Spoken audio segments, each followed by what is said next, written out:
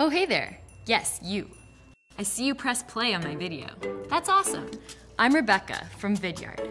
No, I don't have psychic powers, but I do have a pretty powerful set of tools.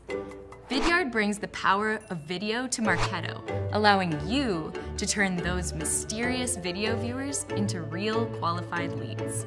I know that you know that video is a main attraction, but this powerful combination will help you attract even more attention with an interactive and customizable experience. You can easily add CTAs inside your videos. Check it out. That's a Marketo form. Keep buyers engaged throughout every step of their journey by adding video to all of your channels, Marketo landing pages, emails, you name it. Okay, as if that wasn't enough, you can finally measure your video results in a meaningful way.